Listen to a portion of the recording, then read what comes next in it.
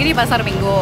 Di Pasar Minggu ini nih ya, ada dua toko empek-empek yang legendaris banget. Dan dua-duanya itu berdiri bersebelahan. Nih, gue kasih lihat ya. Pertama ada empek-empek Musi. Ini dia tokonya. Dan kedua ada empek-empek Pak Jenggot. Nah, itu dia tokonya tuh, tuh, tuh. Nah, sekarang nih ya, gue mau mencicipi eh, masing-masing pempek dan di akhir gue mau menilai pempek mana sih yang paling enak. Daripada penasaran ya, yuk ikut gue.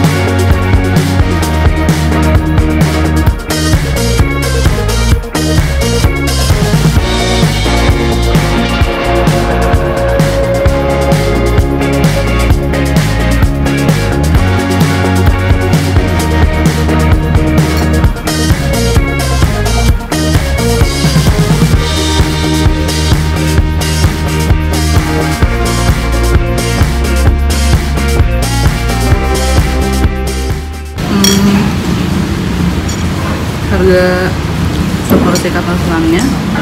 Kalian udah lihat sendiri 25.000 ribu. Itu di papan yang di depan tapi tadi tapi nggak tahu ya nanti em, totalnya berapa.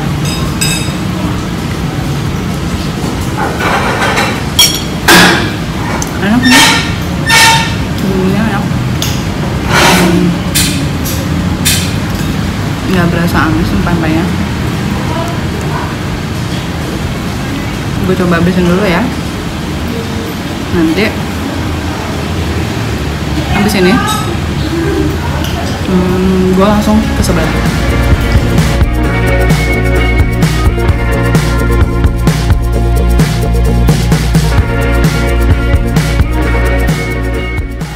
Kita jam setengah sembilan beres lah. Setengah sembilan kita udah bisa terima.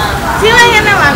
dan tutupnya? Tutupnya jam sembilan makasih ya mbak Hai Uzaners, gue baru aja nyobain em, pempek musiraya Tadi kalian udah lihat sendiri ya. Eh, Porsinya em, lumayan besar dan bikin kenyang banget. Satu porsi kapal selam itu bikin kenyang banget buat gue ya. Nah sekarang gue mau ke sebelah Mau mencicipi em, pempek Pak Jenggot. Yuk ikut gue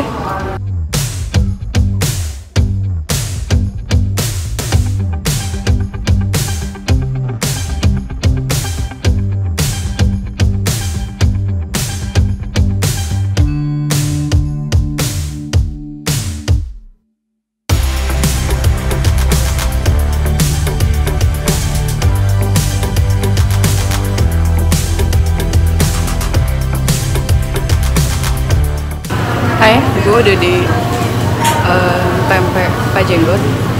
Tadi gue udah sempet lihat daftar harganya. Di sini kapal selam satu porsi 28.000. Sekarang gue lagi ngantri mau pesan. Nanti kita lihat aja ya bentuk kapal selamnya kayak gimana.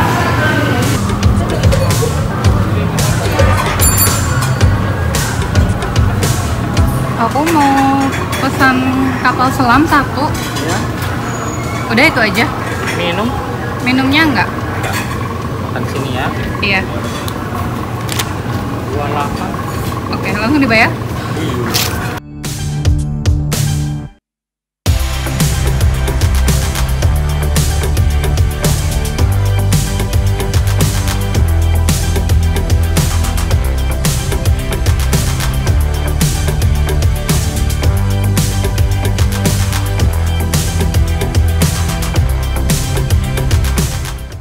Dilihat dari tempatnya ya, pempek Pak Jenggot ini lebih eh, luas dan rame.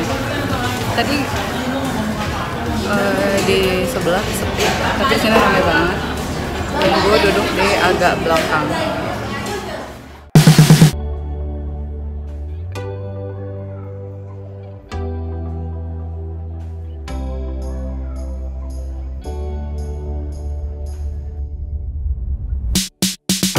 sekarang gue mau nyobain kapal selam Pajenggot udah ada di depan gue nih mau lihat?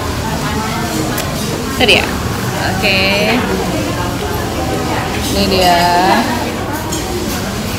Kayak apa rasanya? Kita cobain dulu dari kuahnya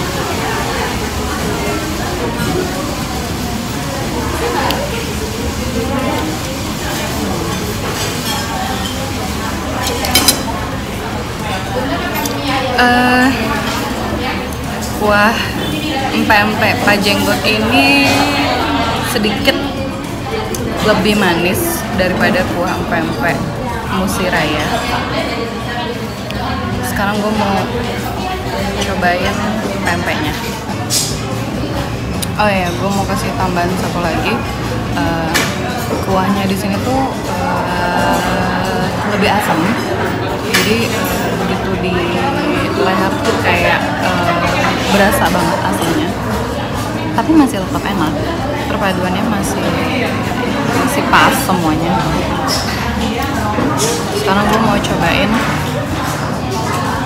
empek-empeknya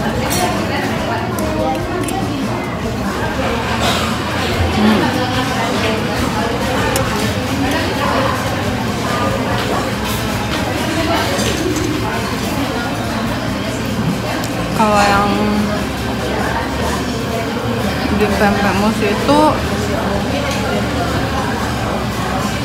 begitu diantar tuh aroma ikannya kecium. Kalau di empek-empek pajenggot ini begitu diantar aroma kayak apa ya? Kayak ayam goreng tepung keluar. Mungkin karena aroma tepung yang digorengnya ya yang yang lebih muncul di sini oh iya di, di sini nih telurnya langsung hancur gitu. Hmm. Telurnya lumer lumer di lidah. Enak. Telur peningnya lumer enak. Bikin kayak ada rasa gurih-gurihnya gitu.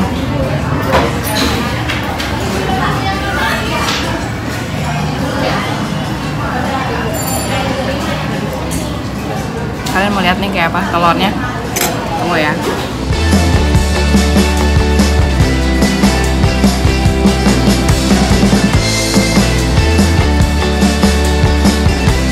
Ayo zoners, gue udah selesai icip-icip empek-empek di pasar minggu.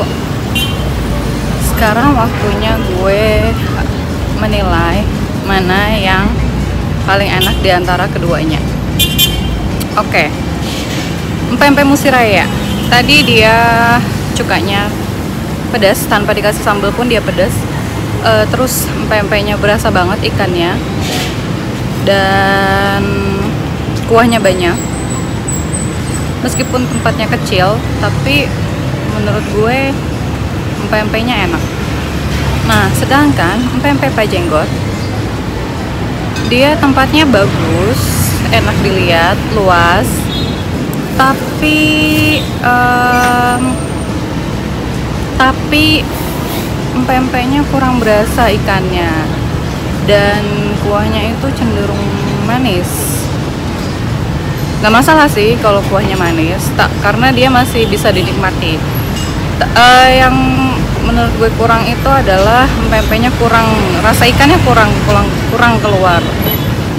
Terus dan kuahnya sedikit. Jadi kalian pasti udah tahu ya gue bakal pilih mana gue bakal merekomendasikan ya gue bakal merekomendasikan pempek musik Ya, ini enak banget.